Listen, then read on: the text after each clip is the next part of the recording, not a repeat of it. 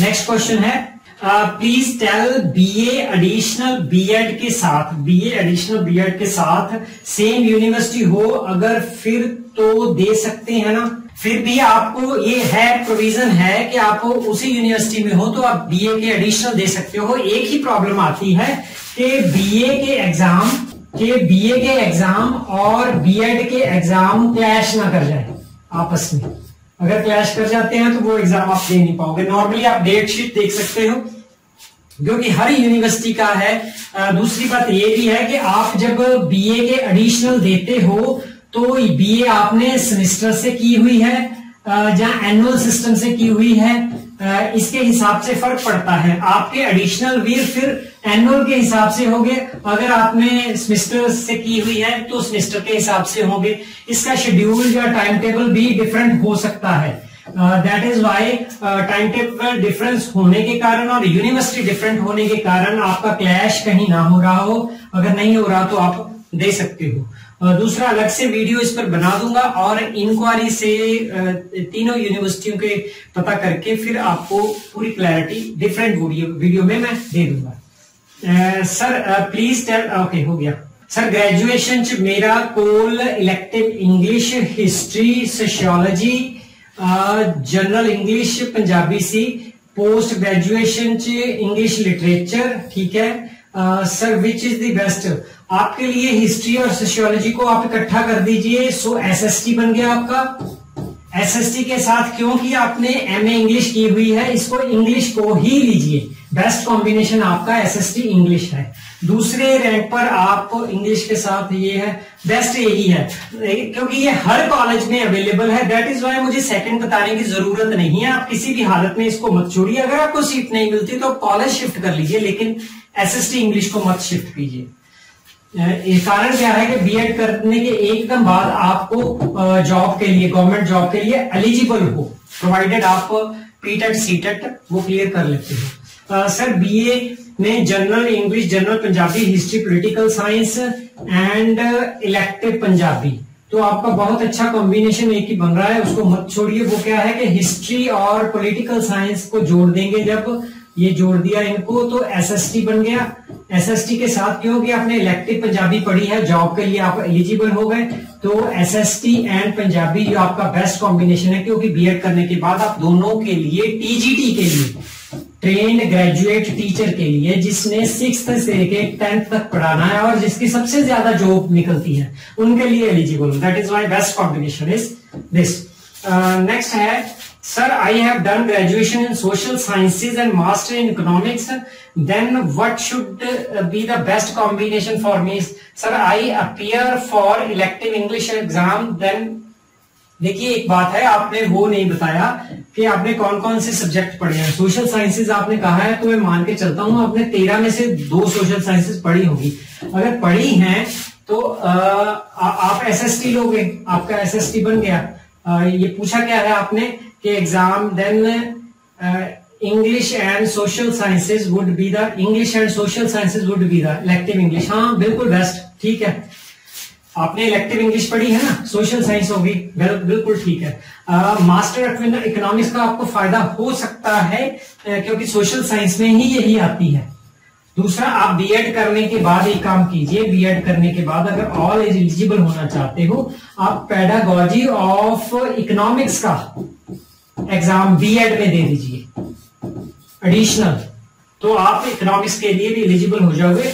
इस ये करने से क्या हुआ, आपको पीजीटी के गवर्नमेंट जॉब के लिए आप एलिजिबल सर ग्रेजुएशन च मेरे को elective English history sociology general Punjabi Punjabi C. History and sociology आपका बन गया एसएसटी और इलेक्टिव इंग्लिश तो आप इसको मत छोड़िए, यहाँ रखिए, यहाँ। English this is your best combination BEd के बाद आप एलिजिबल दोनों पोस्ट के लिए क्योंकि इलेक्टिव पड़े हुए हैं। आपने टीजीटी पीटेट सीटेट की तैयारी कीजिए साथ साथ में। आ, सर बीकॉम के लिए बेस्ट कॉम्बिनेशन दस दो प्लीज़ इस पर अलग से वीडियो पूरी बनाई हुई है। वो भी देख लीजिए उसमें ज़्यादा डिटेल में बताया गया है। नीचे लिंक भी दिया गया होगा। तो आपके लिए आपका कॉमर्स नंबर वन है कि कॉमर्स आपका बनेगा ही बनेगा। कॉमर्स आपका बनेगा। ओके कॉमर्स के साथ आपके दो ऑप्शन है। जहाँ को इकोनॉमिक्स ये देखना है कि क्या आप अगर एम कॉम हो तो क्या एम ए इकोनॉमिक्स करना चाहते हो? अगर बी कॉम भी हो तो इनमें से कॉमर्स की पोस्ट ग्रेजुएशन किसकी करना चाहते हो? ये अपने आप से एक क्वेश्चन पूछिए। ये रहा क्वेश्चन मार्क मैंने डाल दिया। अगर आंसर आता है कॉमर्स है ना? तो कॉमर्स कॉमर्स तो बनती ही है आपकी, ठीक? अगर इकोनॉमिक्स ज़्यादा आ रहा है तो कॉमर्स के साथ आप इकोनॉमिक्स ले लीजिए। पर याद रखना, आपको फ़ायदा तभी है अगर जिसकी पीजी करते हो, इसकी भी पीजी करनी पड़ेगी तो आप कॉमर्स के लिए एलिजिबल हो। इकोनॉमिक्स की पीजी करते हो पोस्ट ग्रेजुएशन तो आप इकोनॉमिक्स के लिए एलिजिबल हो। अगर आपको लगता है कि मैं टीजीटी के लिए एलिजिबल बनना चाहती हूँ तो आप कॉमर्स के साथ लैंग्वेज लोगे। फॉर एग्ज़ाम्पल इंग्लिश अगर आप पंजाब से पढ़े हुए हो तो आपकी पंजाबी होगी साथ में। तो ये आपके तीन कॉम्बिनेशन बने हैं। अगर आप टीजीटी के लिए एलिजिबल होने चाहते हो, और फिर आपको सोचना पड़ेगा कि आपका इंटरेस्ट किसमें है इंग्लिश में या पंजाबी में, फिर आप टीजीटी को प्रेफर करते हुए इंग्लिश कॉमर्स इंग्लिश आपका दूसरे रैंक पर आ गया, या दूसरे रैंक पर ही हो सकता है पंजाबी ये आपने चूज़ करना है पंजाबी या इंग्लिश उसके बाद आपको एक काम बीएड करने के बाद आपको एक काम करना पड़ेगा बीए का। अगर आपने इंग्लिश रखी है तो इंग्लिश के तीन गुना दो, है ना? तीन साल के दो दो एग्ज़ाम इलेक्टिव इंग्लिश के। इलेक्टिव इंग्लिश के तीन एग्ज़ाम आपको देने पड़ेंगे। एक मंथ में हो जाते हैं। एडिशनल बीए का देना पड़ेगा। फिर आप टीजीटी के लिए भी एलिजिबल हो आ, सर मेरे कोल बीए विच history geography Punjabi elective Punjabi compulsory थे हाँ बेस्ट कॉम्बिनेशन आपका। बीए विच हिस्ट्री एंड जोग्राफी बेस्ट आपका कॉम्बिनेशन जो सब्जेक्ट आपके बहुत अच्छे हैं सोशल साइंसेज क्यों नहीं? केंद्रीय विद्यालय सेंटर की पोस्ट में सी टेट क्लियर करने के बाद अगर आप एसएसटी के टीचर बनना चाहते हो तो आपको कहा जाता है मिनिमम तेरह में से आपने हिस्ट्री ज़रूर पढ़ी हो जहाँ जोग्राफी इनमें दोनों में से एक ज़रूर पढ़ा हो बाकी दूसरी कोई भी हो। आपने दोनों पढ़ी है। The best combination that is why opt S S T elective Punjabi है आपका Punjabi this is the best combination और हर कॉलेज में अवेलेबल है सेकंड के बारे में सोचिए अगर एक्सट्रीम कोई सिचुएशन है तो आप फिर से क्वेश्चन कर सकते सर मैं बीसीए की हुई है। बीसीए का सेंट्रल आ गया कंप्यूटर तो आ, हर एक सेमेस्टर पे अलग अलग सब्जेक्ट होंगे ठीक है जी। थ्री ईयर कोई नहीं पढ़िया। बी एड केड़े केड़े सब्जेक्ट मिल सकते हैं। ओनली ग्रेजुएशन की हुई है मैं। प्लीज़ क्लियरली दस दो। हाँ जी ज़रूर क्लियरली दसागा आप कंप्यूटर के लिए एलिजिबल हो, आपका मेजर बनेगा कंप्यूटर मेजर सब्जेक्ट आपने कंप्यूटर ही पढ़ना है. कंप्यूटर के साथ आपको, क्योंकि पंजाबी तो कम से कम एक साल पढ़ी हुई है ना तो पंजाबी आप ले सकते हो. इंग्लिश एक साल पढ़ी होगी इंग्लिश ले सकते हो। अगर कोई और सब्जेक्ट आपने सोशल साइंस का, जहाँ कोई हिंदी वगैरह आपने पढ़ी हुई है, मुझे नहीं पता आपके और कौन सी है, जो भी सब्जेक्ट आपने एक साल पढ़ा है, उसके साथ आपका कॉम्बिनेशन बनता है। कंप्यूटर फ़र्स्ट बनेगा computer science Punjabi computer science English computer science Hindi. ये नहीं है कि मैंने रैंक वन इसको कर दिया सेकंड इसको थर्ड इसको। ये आपने देखना है कि मेरा इंटरेस्ट किसमें है ज़्यादा। किसको ज़्यादा अच्छी तरह से मैं टीच कर सकता हूँ? पंजाबी को तो कंप्यूटर पंजाबी, अगर इंग्लिश है तो कंप्यूटर इंग्लिश अगर आपका बनता है, हिंदी में इंटरेस्ट है या और एक साल आपने पढ़ा है वो आप तीसरा रख सकते हो। बी बीएससी कंप्यूटर साइंस या बी बीएससी नॉन मेडिकल का वीडियो होगा, वो देख लीजिए, आपके कंप्यूटर के सारे कॉम्बिनेशन उसमें पाएगा ये रहा आपका BCA, BSc, IT graduate, computer science and computer language आप, लैंग्वेज के साथ बन रहा है, जो मैं बता दिया है। कंप्यूटर के साथ दूसरा आपका मैथ्स अगर एक साल आपने पढ़ा है तो यहाँ पर एक आर और ऐड कर सकते हैं। कंप्यूटर और मैथ्स आपका एक और ऐड हो सकता है। ये रहा कंप्यूटर और लैंग्वेज कंप्यूटर और लैंग्वेज तीनों की एक दो तीन जो बात बता के हूँ दूसरा कंप्यूटर एंड मैथ अगर मैथ्स में ज़्यादा इंटरेस्ट है तो आप मैथ को पहला रैंक दे सकते हो. This is upon you that किसका आप प्रेफरेंस बनाते हो अपने टीच जिसको अच्छी तरह से कर सकते हो इंटरेस्ट जिसमें ज़्यादा है मार्क्स जिसमें ज़्यादा आते हैं, वो अलग से वीडियो बताए गए हैं. उनको आप नीचे देख सकते हो.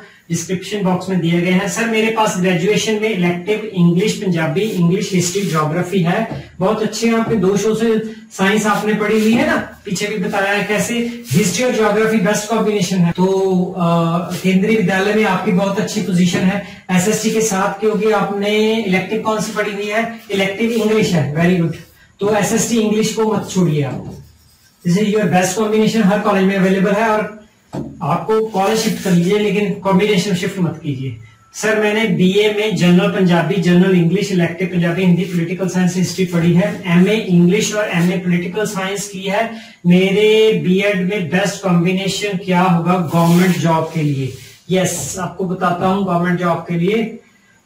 हाँ आपके काफ़ी कॉम्बिनेशन बनते हैं, लेकिन सुजेशन आपको ये है, क्योंकि आपने पॉलिटिकल साइंस की हुई है और एमए इंग्लिश की हुई है दैट इज़ वाई फ़र्स्ट आप ऑप्ट कीजिए। यहाँ पर आगे पोलिटिकल साइंस है एंड हिस्ट्री और लिखा है आपने, ये क्यों? मुझे नहीं पता।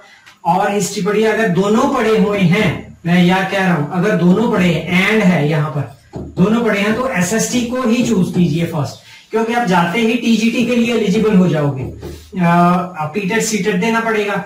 और एसएसटी के साथ आप इंग्लिश ही लीजिए, क्योंकि आप एमए इंग्लिश हो। दूसरी प्रेफरेंस आपकी बन रही है पॉल साइंस एंड इंग्लिश लेकिन ये इसको दूसरी क्यों रख रहा हूँ? क्योंकि ये जो पॉल साइंस है आपको पीजीटी के लिए एलिजिबल कराएगी। पीजीटी के लिए।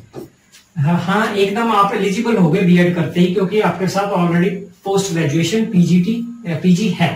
आ, तो फ़र्स्ट है एसएसटी इंग्लिश सेकंड है पॉलिटिकल साइंस इंग्लिश आपने पूछा है कि मैं किसके लिए जॉब के लिए एलिजिबल हूँ? एसएससी करने के बाद आप टीजीटी के लिए एलिजिबल हो? इंग्लिश करने के बाद भी आप टीजीटी के लिए एलिजिबल हो? और पॉलिटिकल साइंस करने के बाद भी आप टीजीटी के लिए eligible that is why this is your best combination SST English and political science English मैं आपको कह रहे हो कि इकोनॉमिक्स आपने पढ़ी हुई है। नंबर एक इकोनॉमिक्स है कंप्यूटर साइंस है और इलेक्ट्रिक पंजाबी। तो अब आपको अगर टीजीटी के लिए जाना चाहते हो, आप मेन इसको पंजाबी को मत छोड़िए हर हालत में, क्योंकि टीजीटी जाते ही आप एलिजिबल हो इलेक्टिव पंजाबी पढ़ी हुई है, इसको साथ में रखिए।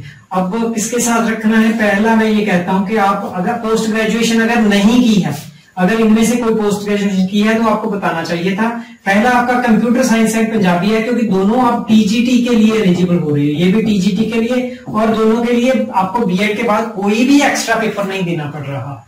तो अगर इकोनॉमिक्स कंप्यूटर इकोनॉमिक्स के साथ आप जा रहे हो, आपने ये पूछा है ना इकोनॉमिक्स एंड कंप्यूटर का, ये सेकंड रैंक बन रहा है, आपका फ़र्स्ट रैंक यही बन रहा है। सेकंड में क्यों है? क्योंकि इकोनॉमिक्स का आपको जाते ही आप एलिजिबल नहीं हो इकोनॉमिक्स के बाद आपको पोस्ट ग्रेजुएशन इन इकोनॉमिक्स करनी पड़ेगी, दो साल लगेंगे। उसके बाद आप पेडागोजी ऑफ़ इकोनॉमिक्स के लिए पीजीटी के लिए पोस्ट ग्रेजुएशन टीचर के लिए, ग्यारहवीं, बारहवीं क्लास को पढ़ाने के लिए ये टीचर होते हैं पीजीटी टीचर टीचर वो दो साल बाद एलिजिबल हो गए। दैट इज़ वाई इकोनॉमिक्स को आप पीछे रखिए कंप्यूटर साइंस और पंजाबी को रखिए। हाँ अगर आपका इंटरेस्ट ज़्यादा इकोनॉमिक्स में है, पंजाबी से ज़्यादा, या कंप्यूटर साइंस से ज़्यादा, फिर मान लीजिए आपका पंजाबी में कम है है ना? तो फिर आप हर हालत में यही लेंगे। मान लीजिए आपका कंप्यूटर साइंस में नहीं है इंटरेस्ट कम है इन तीनों में से तो आप इकोनॉमिक्स के साथ पंजाबी लोगे। ये आपका तीसरी बनेगी। तीसरी नहीं इसको कह सकते, ये डिपेंड करता है आपका इंटरेस्ट किसमें है। दैट इज़ वाई ये पहली भी आपकी हो सकती है। मेरे हिसाब से लॉजिक पॉइंट ऑफ़ व्यू के हिसाब से जॉब के हिसाब से, है ना? इंटरेस्ट इमोशन होते हैं, लेकिन ये जॉब के लॉजिक के हिसाब से आपका फ़र्स्ट ये बन रहा है सेकंड ये बन रहा है थर्ड ये बन रहा है।